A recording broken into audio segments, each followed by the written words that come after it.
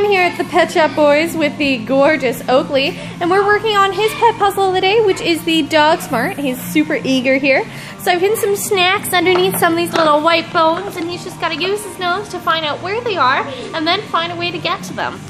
He's pretty good at puzzles, so I don't think it's going to take him too long, and it looks like he's already got to one. Awesome job, Oakley. Well, I hope you enjoy the rest of your day at daycare.